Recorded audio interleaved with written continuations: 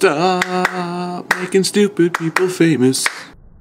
Hello and welcome to Stop Making Stupid People Famous. Today we are talking about Miley Cyrus. She exploded onto the scene in 2005 with her TV show Hannah Montana. It was on the Disney Channel and it basically launched this young lady into stardom almost immediately. The show only ran for four seasons and during that time she was a superstar. Everybody knows who this girl is. She did concert tours to promote uh, her albums that coincided with the TV show as both Hannah Montana and Miley. And then she also had the Best of Both Worlds concert movie, which is the highest grossing concert movie of all time to date. Uh, to say that Miley Cyrus is a superstar is exactly what that is. She is what you would call today a pop superstar. That being said, between 2011 and 2013, there was this kind of limbo that she was in where she almost faded into obscurity, and we weren't quite sure if she was going to continue to be famous. She released Can't Be Tamed, which is to date her lowest selling album. So after Can't Be Tamed was not the biggest commercial success, she hired a manager named Larry Rudolph who helped reinvent her image and put onto the world the Miley Cyrus we know today. She released her album Bangerz with the lead single Wrecking Ball, and then she performed at the 2013 MTV Video Music Awards with Robin Thicke, who I thought was a duo named Rob and Thicke, not Robin Thicke, one guy. So those two things coinciding with each other helped push her back into the spotlight, and now she's right back where she was. Everyone's talking about Miley Cyrus again.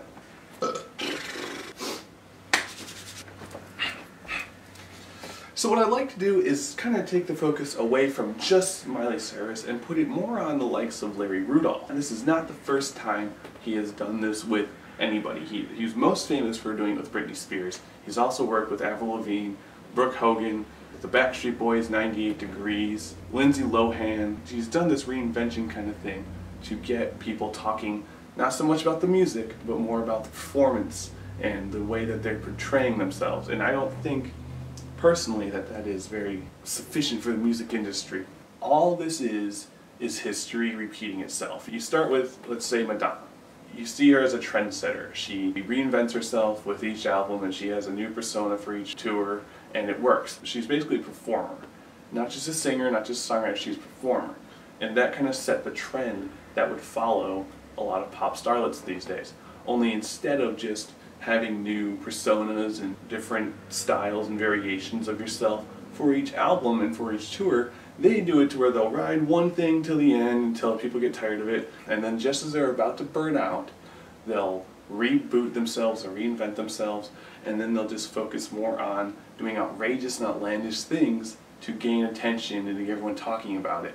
Because like it or hate it, you're going to talk about it and then it becomes less about the music and more about the person. So when you have these managers that tell these people to do these outlandish things to gain and garner buzz and attention, they're going to do that because they're used to the limelight, they're used to being famous and popular and talked about, and they love the attention. So when you have Miley Cyrus, or Britney Spears, Christina Aguilera, or Avril Lavigne, or Lindsay Lohan, you start to see trends here.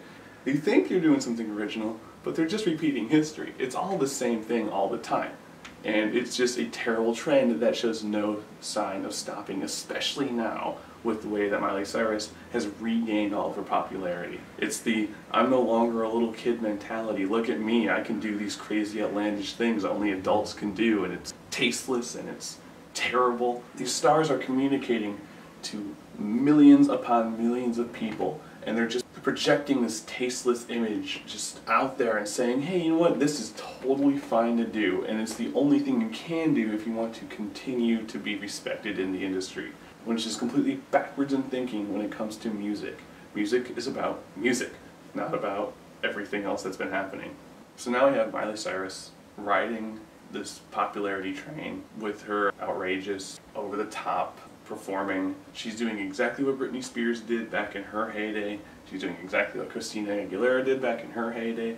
She's trying to do what Madonna's been doing her entire life. And they should focus less on shock and awe for attention and more on long lasting, respectable talent that they can have a core, established, maintainable audience that they can keep through the life of their career instead of recycling the same kind of age bracket, letting their audience grow with them and not just grow out of them.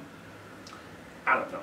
Not only that, Miley Cyrus's dad, Billy Ray Cyrus, co-released a song called Achy Breaky Heart 2 with Buck 22, which is an awful rap song and features the chorus and the hook of Achy Breaky Heart, performed by Billy Ray Cyrus today. They didn't sample the song, they got him to re-record the hook to Achy Breaky Heart, and it is awful. It is god awful. And I would not be surprised if this time next year, Billy Ray Cyrus and Miley Cyrus do a tour together.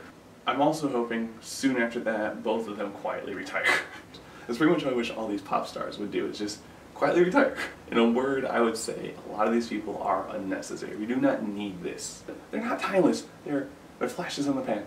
And they're a product of their time. And they're trends, and they're awful. In a word, it's awful. So Larry Rudolph, stop doing stupid things to famous people. And Miley Cyrus, stop doing stupid things. You're famous. You have millions of people who listen to what you say. Say something inspiring. Don't just say things to garner attention.